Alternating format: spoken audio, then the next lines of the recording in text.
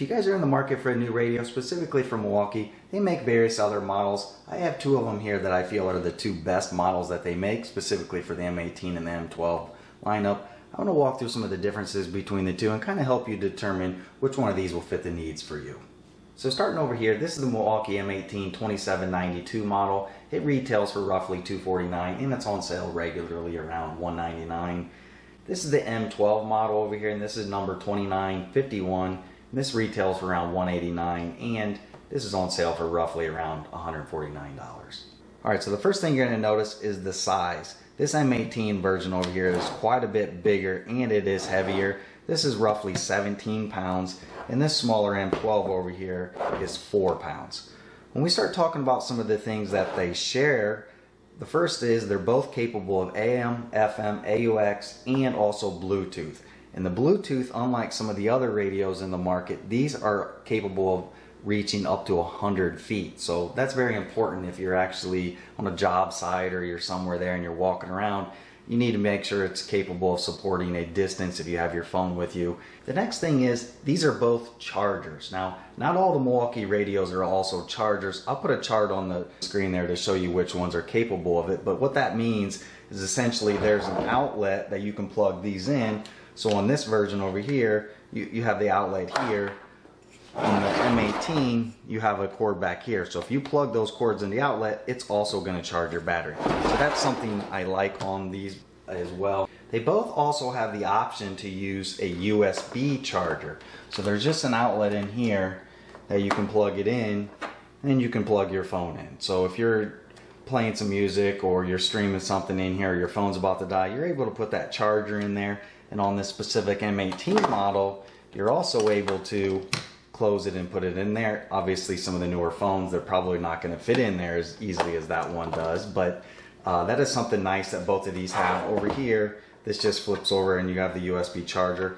Those are both capable of 2.1 amps, so they're a little bit quicker USB versus some of the others in the market there. So if we talk about some of the differences from visual standpoint there, obviously as I just showed you there, it does have this weatherproof lid here that you can put things in there and it is sealed in there where if it's raining outside there it won't let anything in there. Over here obviously it is smaller so you're not going to have different features like that.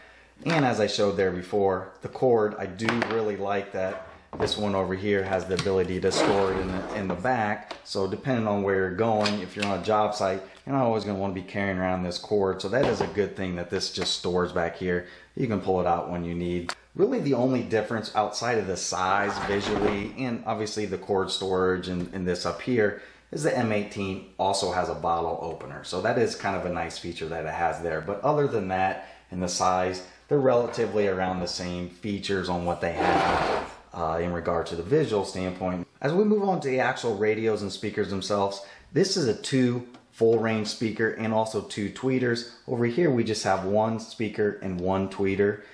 This one over here is rated at 40 watts and they talk about a 40 watt amplifier that's in here. Milwaukee's very secretive on what's actually in this. The best I can tell is it's 12 watt rated speaker in there. However, I've searched Milwaukee's website and a lot of different manuals and parts lists and they really don't talk about that, what that is. So I'm not sure if I got to take that apart to see what that is or not. But when I look at these speakers, I'm guessing it's probably those exact same speakers. You just got one in there and obviously this one has a very high quality amplifier in there and I'll show you a demo here in a little bit of the differences and I believe a lot of it that has to do with the amplifier that this one has that this one does not have.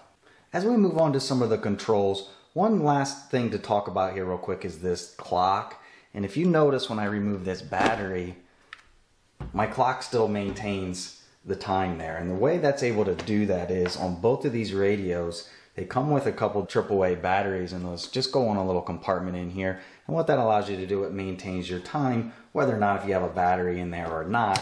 So then when you're obviously using it, it's gonna draw it out of here. But when you don't have a battery on there, then it allows you to save that time. So that is something that I do like. As we get them turned on, they both have very similar power buttons. This one's just right here. This one's up here. In regard to some of the buttons, they have the different buttons here. Well, obviously on the front, these are on the top. It just toggles between your modes, your AM, FM, and you do also have some presets in there that you can also put in there as well.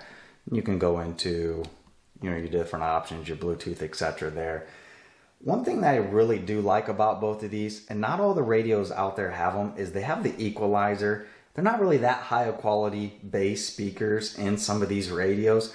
If you get some of the cheaper models, what they do is they just basically have everything set to the max and it's almost like an artificial bass. So I really do like that both of these have the option to do the equalizer and then you, you can turn that down wherever you want on both the treble and the bass. So that is something I really do like about them.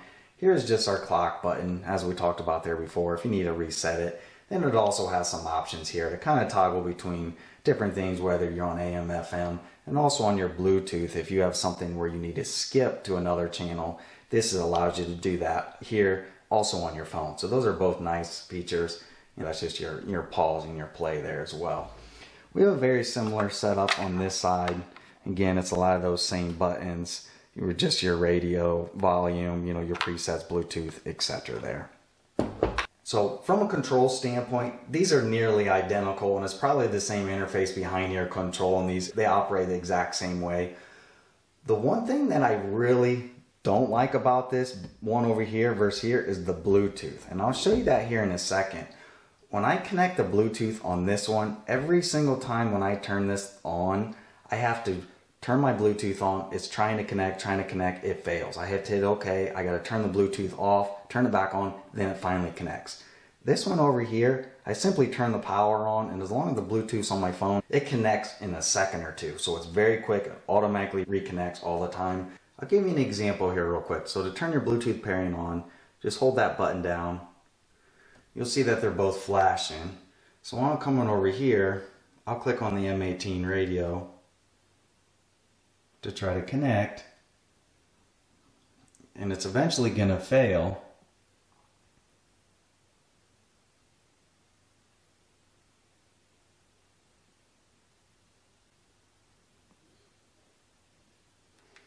Okay, so it failed, so I have to turn this back off, turn this back on, click the M18 again, then it eventually connects. So I don't know what's up with that, but that's the only way I was always able to get this thing connect. It would never connect on the first time. I've saw some similar reviews out there on this over the last couple years that there is something with that Bluetooth. I don't know what the problem is, but that is something that's kind of annoying on here. But once you connect it for the day, it's connected the entire day. As we move on to this one over here, you're gonna watch once I click that on,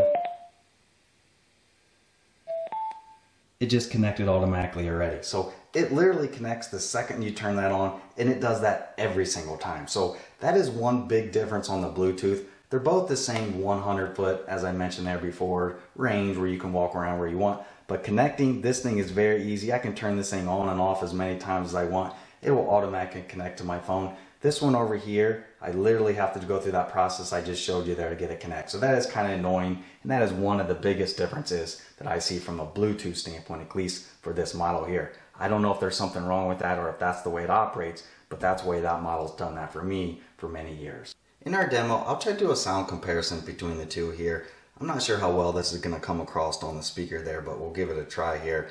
The music, we'll just find some random copyright-free music on YouTube here. Uh, but let me give you a quick demo here. We'll start here with the M12.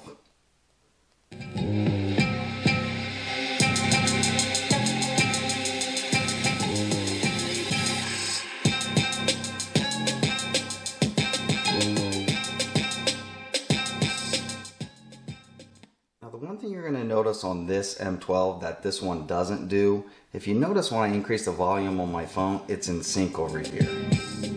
And similar if I increase or decrease here, it will still stay in sync. Not all the radios and phones are like that, so pay attention to, to that there. That is specifically different on both of these models here. As we move on to the M18, let me give you an example of that volume that I was just talking about. So if you notice, if I have this volume all the way down over here and I crank this up, it seems like that thing is very low, but in reality it's just really low over here on my phone. But as I increase my phone, this will get louder.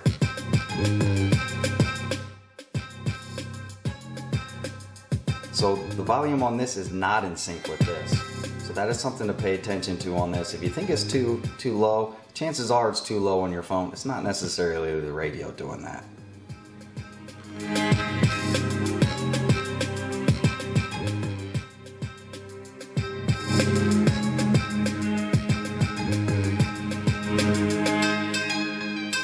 As you can see, they're both very loud radios. Just keep that volume thing in mind there, depending on which radio you have. It doesn't matter if it's one of these or any of the other radios in the market. I see reviews all the time where people talk about it's too low, the volume isn't loud enough. The chances are it's probably your phone's not in sync with it. Just make sure you're paying attention to that, and I think you'll be happy with the result. All right, so what are my final thoughts here? As you saw there in our demo, these are both very high quality radios. And to be honest with you, the camera microphone really doesn't do this thing justice to actually show you really how loud these are. These are both very loud speakers. This thing, you're gonna hear this thing all through your house or you're in a warehouse. This thing is very, very loud. This thing is, is loud, obviously it's just not as loud as this. So in the end, it really gets down to really personal preference on where you need it at like I said there, if you're in a warehouse or something and you need to project this sound throughout the entire warehouse, this is your go-to. I wouldn't hesitate. I'd get this thing in a minute. However, if you're somewhere where you're always going to be transporting something around and you need something mobile, and that's honestly the reason why I picked this up is I got tired of lugging this thing around because it's 17 pounds and it's it's very very heavy. But if you're at a stationary place and you want the best quality music that you can get, this is your go-to. If you're looking for something mobile, this thing over here is hard to beat. So hopefully this helped you out here today. If it did, please give me the thumbs up. If you're interested in more content like this, please hit that subscribe. But again, I hope this helped you out. Thanks for watching.